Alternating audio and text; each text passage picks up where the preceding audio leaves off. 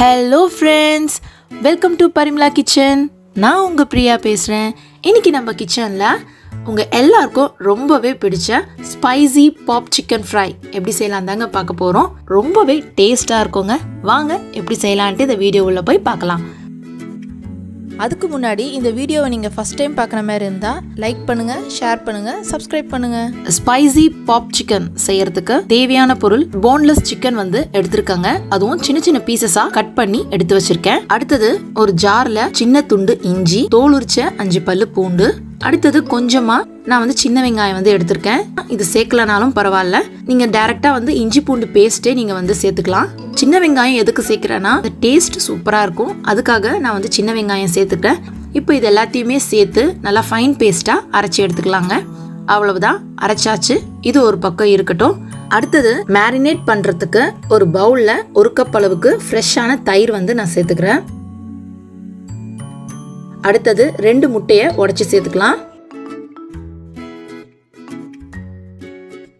அடுத்தது தேவையான அளவு உப்பு. ஒரு டேபிள் ஸ்பூன் சில்லி பவுடர் சேர்த்துக்கலாம். நம்ம அரைச்ச இஞ்சி பூண்டு வெங்காயம் பேஸ்ட்டை அப்படியே சேர்த்துக்கலாம். அடுத்தது நல்லா பீட் பண்ணிக்கலாங்க. அவ்வளோதான் பீட் பண்ணியாச்சு. நம்ம எடுத்து வச்சிருக்க சிக்கன் பீசஸை அப்படியே சேர்த்துக்கலாம்.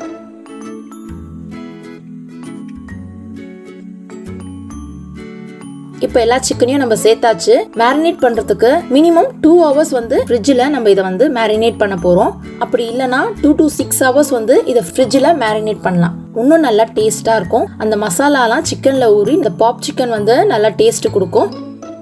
இதை நம்ம ஃப்ரிட்ஜில் எடுத்து வச்சுக்கலாம். அடுத்தது சிக்கனை கோட்டிங் பண்ணி பொரிக்கிறதுக்கு நம்ம மசாலா ஃப்ளார் மிக்சர் ரெடி பண்ண போகிறோம் ஒரு பிளேட்டில் ஒரு கப் அளவுக்கு மைதா மாவு சேர்த்துக்கிறேன். எந்த கப்பில் மைதா மாவு எடுக்கிறீங்களோ அதுலேயே ஆஃப் கப் அளவுக்கு கார்ன்ஃப்ளவர் மாவு அப்படியே சேர்த்துக்கலாம். அடுத்தது ஒரு டேபிள் ஸ்பூன் சில்லி பவுடர் சேர்த்துக்கலாம். ஆஃப் டேபிள் ஸ்பூன் தனியாத்தூள் அதையும் சேர்த்துக்கலாம். அடுத்தது ஒரு ஆஃப் டேபிள் ஸ்பூன் சீரகத்தூள். அடுத்தது ஒரு ஆஃப் டேபிள் ஸ்பூன் மிளகுத்தூள். சேர்த்துட்டு நல்லா மிக்ஸ் பண்ணிக்கலாங்க. தேவையான அளவு கொஞ்சமாக உப்பு சேர்த்து நல்லா கலந்துடலாம்.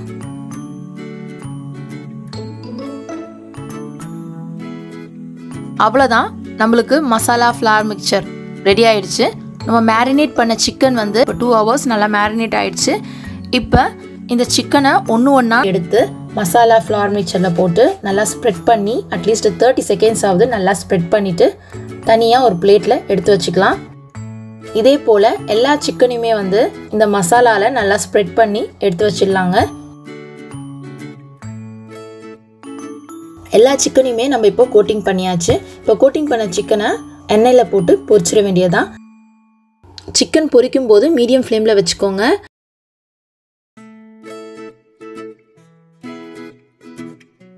நம்மளுக்கு கோல்டன் கலர் வந்ததும் சிக்கனை வந்து எண்ணெயிலேருந்து எடுத்துடலாம். சூப்பராக ரெடி ஆயிடுச்சுங்க.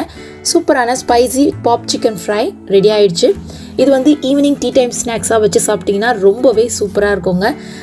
ஸோ கண்டிப்பாக இப்போ பார்த்த வீடியோ உங்களுக்கு பிடிச்சிருக்கோன்னு நினைக்கிறேன். இப்போ பார்த்த வீடியோ உங்களுக்கு பிடிச்சிருந்துன்னா எங்கள் சேனலுக்கு மறக்காமல் லைக் பண்ணுங்கள் ஷேர் பண்ணுங்கள் சப்ஸ்கிரைப் பண்ணுங்கள் மறக்காமல் பெல் பட்டன் ப்ரெஸ் பண்ணுங்கள் அப்போ தான் நாங்கள் போடுற வீடியோஸ் உங்களுக்கு நோட்டிஃபிகேஷன் வந்துட்ருக்கோம் இன்னும் பல நிறைய வீடியோஸ் உங்களுக்காக காத்துட்ருக்கு until then thank you see you and bye bye